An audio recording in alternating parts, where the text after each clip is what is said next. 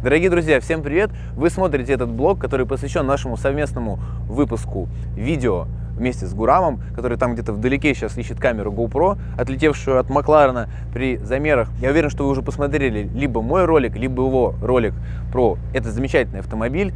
Мы его сегодня вдоволь тестируем и натестировались уже на самом деле время к концу и решили для вас на нашем канале сделать вот такой выпуск, который как раз таки покажет все эти закадровые моменты, которых так люди просят. Это действительно интересно. А, в общем, Google уже подъезжает. Смотрите, с самого начала мы начали снимать в 9 утра, очень рано, сейчас время 6. Масса материала, я уверен, что вам понравится. Поэтому погнали! Приехали мы на Тригорную мануфактуру. Тут охрана была сильно против, чтобы мы снимали, хотя вроде ничего плохого не делали, но, в общем, дошли до того, что вызвали полицию. Ну, вызвали полицию, потому что снимать на самом деле можно, но, конечно, людям э, зачастую это объяснить тяжело, и все готовы идти на крайние меры. Мне лишь обидно, что ну, в этом случае привлекают сотрудников э, правопорядка, которые, ну, на самом деле, у них есть какие-то дела более важные, чем вот, э, разбираться на тему, можно ли снимать все-таки на мануфактуры или нельзя. Поедем теперь на промзону снимать.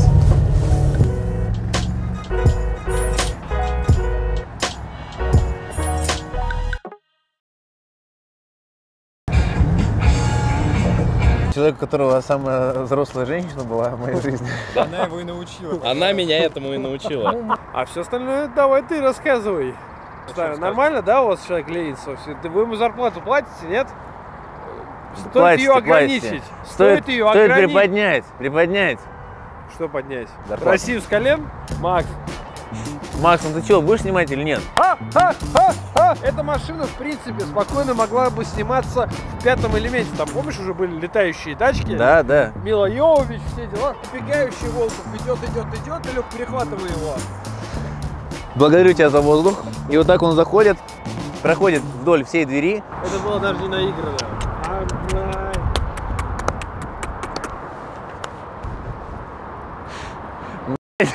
Вы точно автоблогер? А ты точно автоблогер? Спалился так случайно, просто так. Решил на полностью сухом баке со мной заезжать. Просто красавчик. И водитель просто знаешь, спалил. знаешь, там еще немецкий бензин еще в этой машине. Да, Представляешь- еще и представляешь, что с 102 тобой какой было? Еще и какой-то Представляешь, что с тобой 102 было? да, вообще супер. И так машина весит на полтонны меньше. меньше. Так еще и бензина хочется сэкономить. Вообще просто читер. Спасибо, хоть то не одел на заднюю ось. Как не видел? Я видел, что там трофею не, не подкалывал. Первое дело, что проверил, это шины на задней оси. Типа, заруба с обычным человеком, типа. Ладно, все, поехали, встретимся Да. на полигоне. Заруба с Ильей. Так, ну-ка пришли фотографию шин. Так, бензин баке. показатели бака. Так, все, ладно, сколько ты сам весишь, ну встань на весы. Дед читер. Там этот какой-то черт. Что такое? Там труба зовет. Труба зовет? Да. Какая? Ну, парни просят подойти. Выхлопная? Какие парни? Ну, там разные. Какие парни. парни? В форме. Уже эти формы не серая, кстати, а синяя давно. Что такое-то? Ну, слушай, Макс что-то просит там, типа, А. носит. Сейчас пойдем. Hey, my friend, can you can you floor the gas? Oh my god! Oh my god! It's diesel! It's diesel car! Diesel! Diesel! Типа того. Типа того!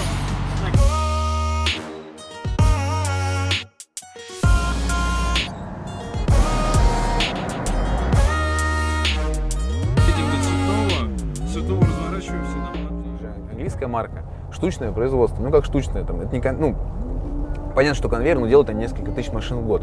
Но там, получается, тут монитор, тут мультимедиа, все это взаимосвязано, все это открывается, закрывается, при этом меняются показатели. Никакого глюка нет, ничего не глючит. А, и сам салон сделан очень качественно.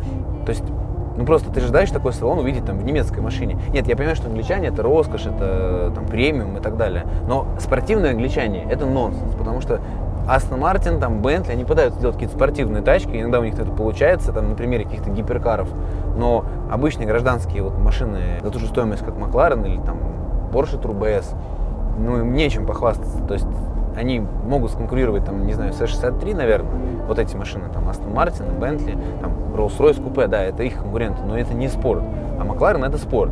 Причем эта машина, а, сам Макларен сам по себе, он не похож на английскую машину совсем. Это же Вот если бы я не знал, что такое Макларен, а, но знал все остальное, все остальные марки, я бы мог сделать вывод, что это какие-то, что это какое-то паназиатское творение, там, а, не знаю, может быть, японская или корейская тачка, потому что, ну, очень такой нетрадиционный дизайн, а, спортивный, космический.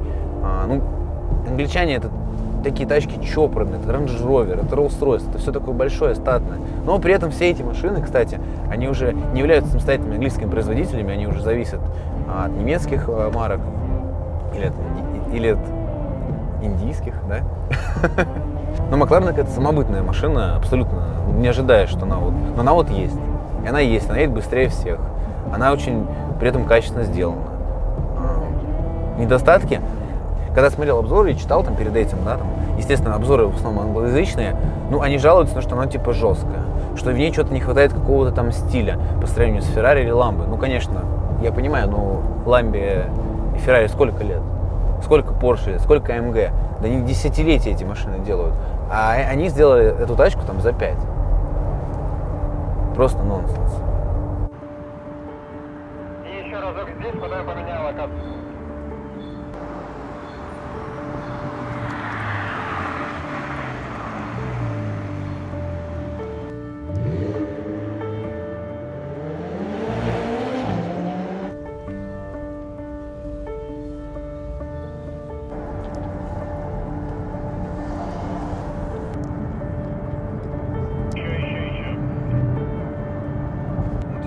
Регулируй, потому что я же тебя не вижу теперь. Да, добро. Такое бывает? Ничего себе. Пиво везет против течения. Мы смотрим, едем, кстати, 60 км в час, и вокруг народ, хотя можно нужно ехать 110, а все начинают ехать медленнее, потому что думают, что что-то здесь какая-то камера, наверное, или что-то такое ЧП происходит. Да, там со знаком. А, ну все, хорошо. да, давай мы это спокойно сделаем. Хорошо. Кипиш. Всегда без кипиша. Так, окей. Я как это, бля. Что должен мужчина уметь делать? Я понял.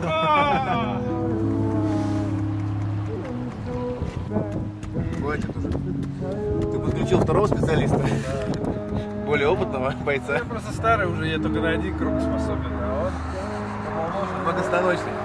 Ну что, покатались по платке, немного поускорялись.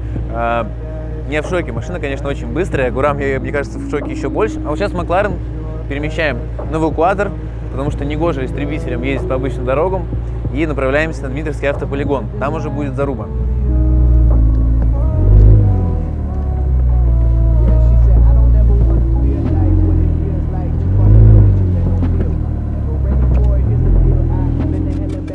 Да, непривычно все-таки, когда двери вверх открываются.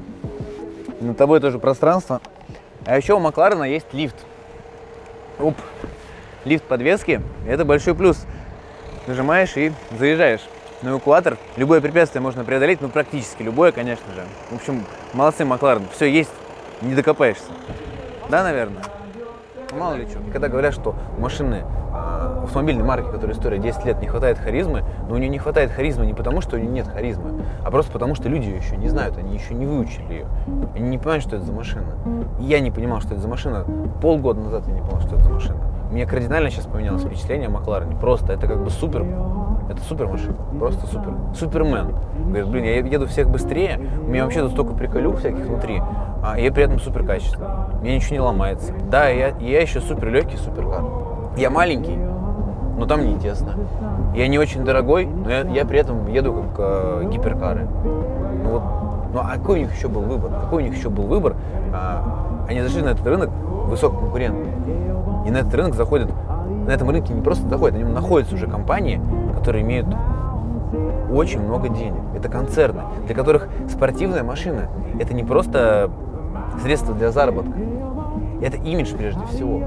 Потому что сделать быструю машину – это круто. Сделал а, Turbo S, все знают, что Turbo S самая быстрая полноприводная тачка на Everyday. Это как бренд уже идет.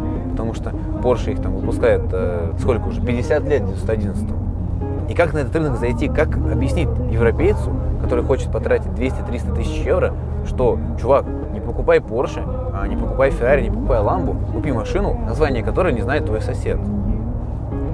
Потому что, ну, конечно, когда мы покупаем тачку, мы покупаем не просто технические характеристики, мы покупаем имидж, мы покупаем стиль, мы покупаем прежде всего ощущения.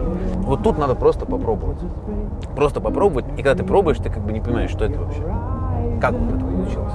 Просто год назад а, мы заехали с Маклареном, даже меньше, там, это было там, летом 2019 мы заехали с Маклареном, и он типа объехал писту. А, машину, которая супер быстрая. Ну, мою машину. Мне даже обидно было, реально. Появляется возможность такую машину купить э, там, в адекватные деньги. Я опять же понимаю, что если я ее куплю, ну давай я ее куплю, короче. Потому что, вот, что я, почему я не решил с ней что делать? Ну, потому что вот я на ней сейчас поезжу, ее можно продать, и я там не потеряю. Прикольно. А, можно себе оставить. Но тогда нужно продать писту. Вроде, с одной стороны, писту жалко, потому что я ее заказывал, ждал, под себя собирал. А вот эта машина, она с пробегом. А, она уже там была сконфигурирована. Вот я решил рискнуть. Я люблю рисковать, я предприниматель.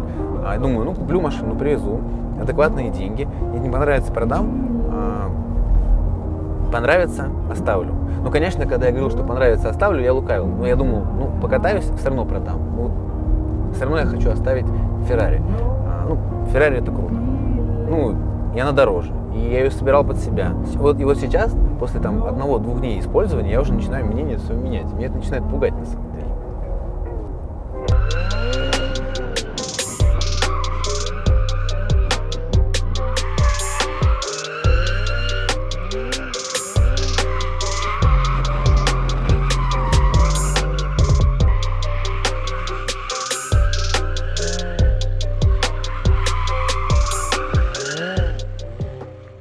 Позволь, да. позволь вопрос. А ты хоть раз ланч включал на своем Макларене? Не включал бы раньше на Макларене. Оставь, Мак, оставь все свои шуточки. Наконец, да? Вы пишете, нет? Да. А, окей.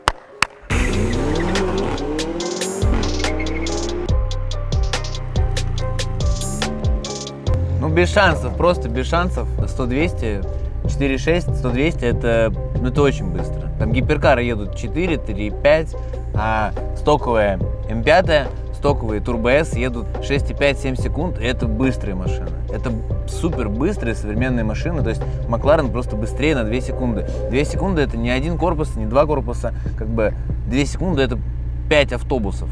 Это огромная разница.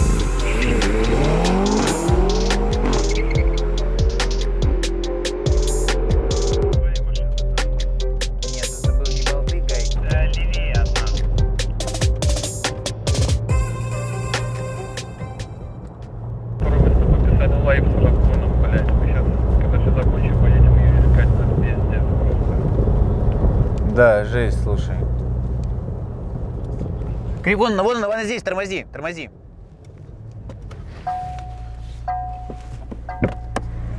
Ты красавчик. Если нужно найти где-то GoPro на дистанции 1 километр, мне просто пишите сообщение, и все. Очень забавно. Ты снимал, кстати? Это очень забавно. Просто тут дистанция, ну не знаю, ну несколько, 5 километров. Гурам мне говорит, будем искать GoPro, которая отлетела. Я еду, она лежит. Я такой, типа, тормозим, достаем. Но я люблю грибы собирать, я думаю, это вот с детства. Это с детства. Это очень смешно. Общего пользования. Погнали.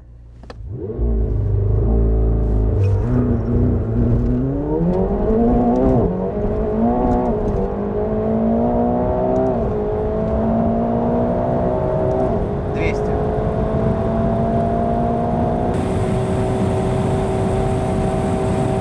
Триста.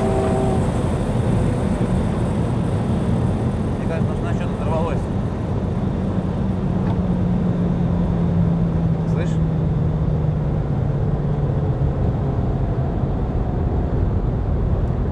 Что это было? Непонятно. Мне кажется, эпизодки все сняли? В комфорте поедем, пожалуй. Тоже пошло не так на скорости 340 километров в час. А, на самом деле, как вы видите, это куски пластиковой защиты. Я еще не знаю точно, что отвалилось в Макларене и почему. А, ну, справедливости ради, надо сказать, что скорость была действительно большая. В итоге это оказался кусочек пластиковой защиты, который располагался сразу за передним бампером. Я не знаю, по какой причине именно эту запчасть оторвало. Скорее всего, она имела повреждение. Тем более, что автомобиль недавно был доставлен из Германии в Москву на автовозе. Благодаря оперативной логистике Макларена мы смогли его заказать и получить через одну неделю. Стоимость составила 200 евро. А, К счастью, никто не пострадал, но мы, конечно, очень сильно в этот момент переживали, если мягко сказать. Но, к счастью, все обошлось. И это уже второй случай, когда у меня на Дмитровском автополигоне при скорости 300 плюс происходит какая-то хрень, потому что осенью, когда мы снимали писту, на скорости после 310 у меня поток воздуха начал выдавливать уплотнительную резинку спереди машина начала болтаться. Это, конечно, в ролик не попало. Я не уверен, что это проблема именно в сборке Феррари, хотя Феррари, как известно, качественно своим не блещет. Мы машину оклеивали, возможно, что-то где-то не закрепили. Такое может быть, все люди ошибаются, но выглядело это, конечно, немного эпично, когда ты едешь 310 и у тебя вот так болтается резинка из-под капота. Что, друзья, вот мы закончили эти съемки. Больше никаких потерь не было, чуть подрифтили. А, Я хочу сейчас спросить у Гурама одну вещь. А, Ну, понятно, что мы сделали финал, рассказали, ну, что машина самая быстрая. Я хочу понять вот эмоции от этого автомобиля. Гук, скажи, пожалуйста, вот прошел сегодня день, ты поездил на Макларене, а, мы с тобой погонялись, вот это все подтвердилось. Вот, а что ты думаешь про эту машину? Вот в плане, тебя это удивило или ты к этому был вообще готов? Но а, я был к этому готов, поскольку мы уже понимали, что машина очень быстрая, но тем не менее, когда ты это испытываешь на себе вживую, не журналы, не видео других блогеров, а когда ты это чувствуешь своей спиной и своей пятой точкой, это, конечно же, впечатляет еще сильнее. Ну и дружелюбность. То есть машина очень дружелюбная. Это какой-то уникальный, уникальное сочетание, уникальный тандем комфорта определенного, дружелюбности и очень высокой скорости и очень высокой динамики. Поэтому они сделали уникальный продукт, который 100% стоит своих денег. Ты бы вот эту машину купил, Да. То есть, если бы у тебя была возможность купить, например, ламбу, феру, ну, мы понимаем, что мы говорим про машины в районе 20-25 миллионов, ты бы все-таки выбрал МАК, несмотря на то, что нету дилера, несмотря на то, что геморрой с поставками. Ну, есть одна фера, которая в моем сердце, на самом деле, Так, которая так, могла, так. Бы, могла бы, которая Так, так, так. изменить мой выбор. Это 812 Superfast. Ага. Я ее просто люблю всем сердцем, V12, э, Ну, я понял. Turismo и все дела. Но сравнивая, наверное, со всеми Lamborghini, я бы выбрал Макларен. Я понял. Ну что ж, по-моему, отличный, отличный выбор и отличный конец. Друзья мои, надеюсь, вам понравился этот блог. Обзоры уже вышли, поэтому посмотрите, если вы еще не смотрели. Спасибо вам большое за внимание. Берегите себя. До скорых встреч. Пока. Подписывайтесь на Илюху. Забыл самое главное сказать. И сидите дома. И руки мойте чаще. И предохраняйте Короче, время секса. короче, шутка. А, чего? Значит, руки мы теперь научились. Теперь научим владельцев BMW пользоваться поворотниками. А, за, за, за, за. Как ты быстро переобулся. Продал BMW, ты теперь и относишься к нам. я не продал BMW, я жду другую BMW. Ну, она у тебя я ее поменял. есть? У тебя сейчас есть Еще, BMW? еще пока не У забрали. тебя сейчас есть BMW? Есть Какая? BMW M5, еще не забрали. Она еще физически у меня. Она тебе принадлежит? Короче, я понял. Я знаю этот чит-код. Ладно, ребят, до скорых встреч, пока. Пока.